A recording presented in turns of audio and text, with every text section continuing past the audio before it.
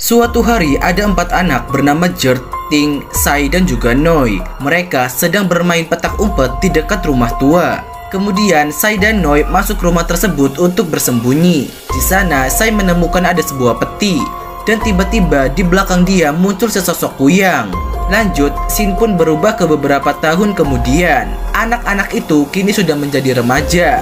Setiap hari, Sai selalu membersihkan darah yang selalu muncul di kasurnya. By the way, Sai juga bekerja sebagai seorang perawat di desanya. Jert, teman masa kecilnya, menyukai Sai, tapi Sai hanya menganggapnya sebagai teman biasa. Jert selalu bertingkah untuk mendapatkan perhatian Sai. Hari itu ada anak kecil yang kakinya terluka datang untuk diobati. Si ibu juga bercerita kalau semalam dia melihat kuyang dan memakan ayam-ayam milik tetangga. Keesokan paginya, saat Sai terbangun, lagi-lagi ada bekas darah di kasurnya. Bahkan dada Sai juga merah-merah tuh. Jert datang dan membawa air pandan untuk Sai. Sai juga meminta Jert untuk menemani dirinya ke hutan pada malam hari. Ketika malam hari, mereka pun pergi ke hutan. Namun ternyata Jert terlihat sangat ketakutan. Kemudian muncul sebuah cahaya api dan ternyata itu adalah teman lama mereka yang bernama Noi.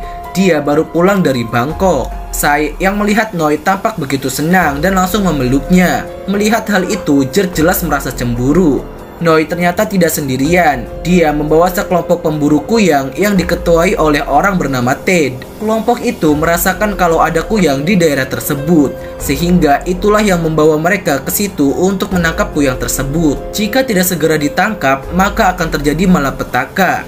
Jadi jika ada kuyang yang meludahi air, lalu air itu diminum oleh seorang gadis, maka gadis itu akan berubah menjadi kuyang.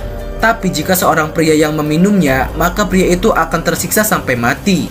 Setelah menjelaskan petaka yang akan terjadi, namun ayah saya yang seorang kepala desa tidak percaya dengan hal itu. Ted lalu menunjukkan satu kepala kuyang yang pernah mereka tangkap. Ayah Sai juga memarahi Noi karena telah lancang membawa orang asing di desanya. Ayah Sai mengira kalau mereka adalah sekelompok bandit. Di lain sisi, Sai ingin segera pulang ke rumah karena dia merasa ada yang aneh pada dirinya. Jared agak curiga dengan tingkah Sai yang tergesa-gesa. Keesokan paginya, lagi-lagi Sai menemukan ada bercak darah di kasurnya. Tidak hanya itu, Sai juga muntah darah dan muncul bercak merah di dadanya. Pada siang hari terlihat ada kerbau yang meninggoy, tapi Noi berkata kalau itu mungkin ulah hewan buas. Noi mengajak Sai untuk menemui Jert. Di sana Jert sedang berlatih menembak untuk memburu kuyang. Kemudian Noi mengajak Jert pergi karena khawatir kelompok itu adalah orang jahat. Tetapi Jert tidak mau dan percaya kalau ada kuyang di desanya itu. Ketika malam hari, saat Sai mengoleskan salep ke dadanya, Jert datang menyuruh Sai untuk menutup pintu dan jendelanya agar kuyang itu tidak bisa masuk. Jert dan kelompok itu berkeliling desa untuk mencari kuyang. Sedangkan Noi berada di tengah-tengah sawah dan entah melakukan apa. Di sisi lain, Sai menjerit kesakitan. Dan ternyata Sai adalah kuyangnya guys. Kemudian, Ting melihat tidak ada anak di sampingnya. Dia pun langsung membangunkan suaminya. Si suami langsung meminta pertolongan kepada kelompok tersebut. Ternyata anak Ting dibawa oleh Sai yang telah berubah menjadi kuyang. Karena kuyang itu sangat cepat, mereka pun tidak bisa menembaknya. Lalu tiba-tiba kuyang itu menghilang. Ada satu orang yang berhasil membawa bayi Ting, dan Ting pun akhirnya merasa lega. Di sisi lain, Noi yang berada di sawah melihat kalau kuyang itu pergi menuju rumah Sai. Melihat hal itu, Noi langsung memanjat tangga untuk melihat kondisi Sai. Noi sangat terkejut karena dia melihat ternyata Sai adalah kuyangnya.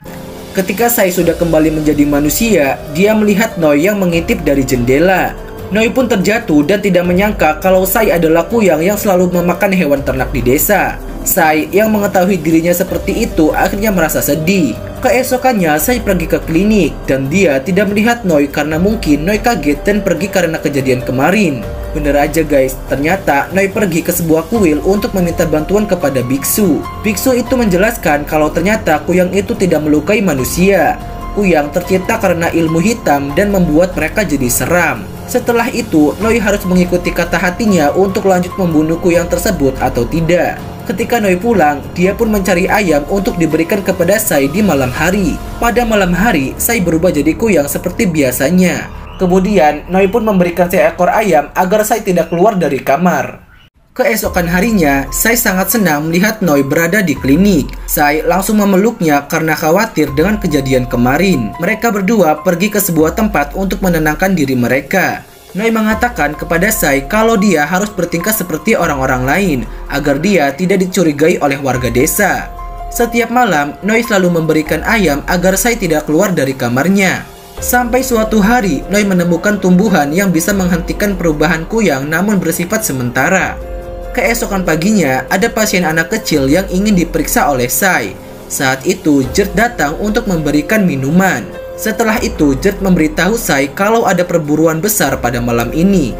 Sai diminta untuk tetap di kamar dan mengunci pintu dan jendela kamarnya. Kemudian, pasien anak kecil itu tiba-tiba meminum air di gelas yang bekas diminum oleh Sai. Karena itu, anak kecil tersebut berubah menjadi kuyang dan akhirnya dibunuh oleh kelompok pemburu kuyang. Keesokan harinya, mereka pun melakukan ritual membakar mayat. Terlihat orang tua anak itu menangis histeris. Kemudian, saya pun baru menyadari penyebab anak itu berubah jadi kuyang karena telah meminum air di bekas gelasnya. Saya jadi ketakutan kalau warga akan tahu yang sebenarnya.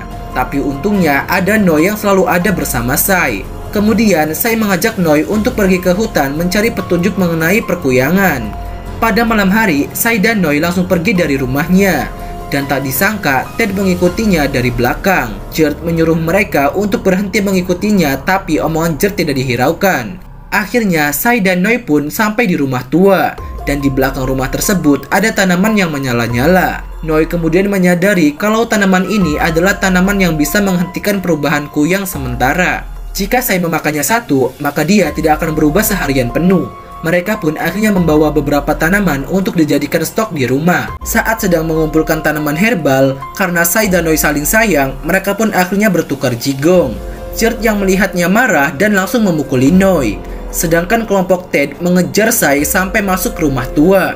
Di sana, Sai tidak sengaja melihat cahaya merah dari dalam peti. Ketika mendekatinya, dia teringat korbannya dan mengingat masa kecilnya yang pernah dicium oleh sang kuyang. Ternyata waktu main dulu, Sai pernah dicium kuyang sehingga sekarang dia berubah menjadi kuyang.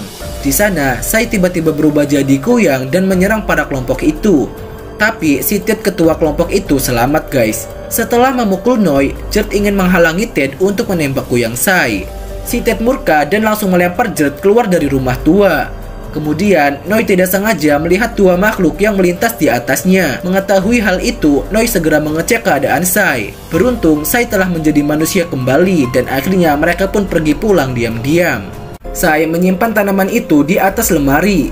Seluruh warga dibuat kaget karena para kelompok pemburuku yang telah meninggoy. Ayah Sai lalu menanyakan kepada Ted siapa orang yang menjadi kuyang dan seperti apa wujudnya. Noi menguping percakapan tersebut dan akhirnya pergi untuk menemui Sai yang mungkin dalam bahaya. Di tengah jalan, dada Noi terasa sakit karena kemarin dia pernah bertukar jigong dengan Sai. Di sisi lain, para warga desa pergi ke rumah Sai untuk membuktikan kalau Sai adalah kuyangnya. Saat itu, Sai kebingungan karena tanaman yang dia simpan tiba-tiba saja menghilang. Sai menanyakan kepada neneknya dan ternyata neneknya menaruh di keranjang cucian. Sai terus mencari tanaman itu untuk dimakan dirinya sebelum berubah menjadi kuyang.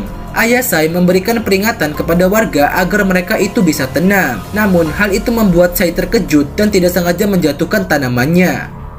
Ayah Sai terus memanggil Sai berkali-kali, tapi Sai masih berusaha mencari tanamannya di dalam lumpur. Hingga pada akhirnya, Sai pun berhasil memakannya dan langsung keluar dengan alasan baru selesai mandi. Si Ted akhirnya menyuruh Jert untuk berbicara yang sebenarnya. Tapi karena Jert yang masih cinta kepada Sai, dia pun akhirnya menutup mulut. Dengan tegas, Sai beralasan kalau kelompok itu menculik dan ingin memperkaosnya. Sampai akhirnya Jert datang dan menyelamatkannya. Beruntung, si Jet bisa diajak kompromi dan semua orang pun percaya. Setelah itu, Jert pulang ingin segera tidur di kamarnya. Ted yang kecewa dengan Jert datang untuk menggigitnya dan Jert pun berubah jadi sosok yang menyeramkan. Kemudian, stok tanaman saya tinggal sedikit dan Noi sedang berusaha untuk mencari tanaman itu lagi. Tapi saat Noi pergi ke sana, ternyata tanaman-tanaman itu sudah habis terbakar api dan ternyata itu semua adalah perbuatan dari Ted. Noi mencoba menanam tanaman itu sendiri, tapi semua itu sia-sia guys. Noi mengajak Sai untuk pergi ke Bangkok bersamanya. Dia berharap siapa tahu ada orang yang bisa membantunya di sana. Noi menyuruh Sai untuk menemuinya besok setelah matahari terbenam. Tapi saat itu Sai sangat dilema harus ikut Noi atau tidak. Setelah itu Sai pergi ke rumah Jert. Jert yang berada di kamar mendengar bisikan dari Ted untuk membunuh Sai. Ketika Sai sampai di rumah Jert, Jert mengatakan yang sebenarnya bahwa ternyata dialah orang yang pertama kali melihat Sai menjadi kuyang. Waktu itu saat Jert ingin mengantarnya pulang, tapi Sai tergesa-gesa sampai akhirnya Jert pun mengikutinya. Dan saat itu Jert melihat dengan jelas kalau Sai telah berubah menjadi kuyang. Jert merasa lemas dan tidak percaya kalau kuyang tersebut adalah orang yang dia cintai. Tujuan Jert masuk ke pemburu kuyang adalah untuk melindungi Sai dari kejauhan. Sai pun sangat kaget karena ternyata Jert sudah berubah menjadi seram seperti itu. Di sisi lain, Noi bertemu dengan biksu yang sebelumnya. Si biksu menceritakan asal mula dan sejarah kuyang guys. Pada malam hari, Noi pun bersiap untuk menunggu Sai di dalam hutan. Tapi sayangnya, Sai diajak ayahnya untuk menonton layar tancap. Lama-kelamaan, dada si Sai terasa sakit dan begitu pun dengan Noi. Di tempat lain, Jert telah berubah menjadi monster dan berusaha menangkap kuyang Sai. Di situ, Jert bisa terbang untuk membunuh Sai. Beruntung, Noi datang tepat waktu dan berhasil menyadarkan Jert yang telah dihasut oleh Ted. Sampai akhirnya Jert bertarung melawan Ted guys. Tapi Jert tewas karena jantungnya diambil oleh Ted. Di lain sisi, tubuh Sai mau dipukuli para warga. Tapi Noi berusaha melindunginya dan membawanya ke tempat yang aman. Tapi Ted tidak membiarkan mereka pergi begitu saja. Noi pun ingin melawannya dengan tangan kosong. Saat itu, si biksu datang dan menembak Ted sampai tewas. Si biksu bercerita kalau dulu dia juga mempunyai istri yang berubah menjadi kuyang. Namun dia berusaha keras untuk menutupinya dari para warga. Sampai akhirnya si biksu menguncinya di dalam sebuah peti dan dirantai erat-erat. Kemudian si biksu pun menyuruh Noi dan Sai untuk segera pergi dari situ secepatnya. Para warga yang marah tidak membiarkan Sai pergi begitu saja. Sai dan Noi akhirnya telah sampai di sebuah perahu. Noi berjanji akan menyembuhkan Sai ketika mereka sampai di Bangkok. Tak lama kemudian Sai pun tewas karena tertembak guys. Noi pun menangis dan berusaha mendekatinya, tapi dia terlambat karena Sai telah meninggoy. Noi sangat begitu sedih dan mengingat masa-masa dulu saat bersama dengan Sai. Dan cerita pun selesai. Wah ngeri ya guys, endingnya sungguh sedih banget. Gimana nih menurut kalian? Coba komen.